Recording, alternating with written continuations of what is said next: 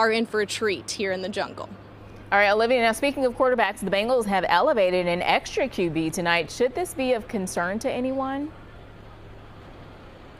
No, I'm actually hearing that this should not be a concern about Joe Burrow or his backup quarterback Brandon Allen's status for tonight. They have elevated third string quarterback Jake Browning, which is something that they actually did last season.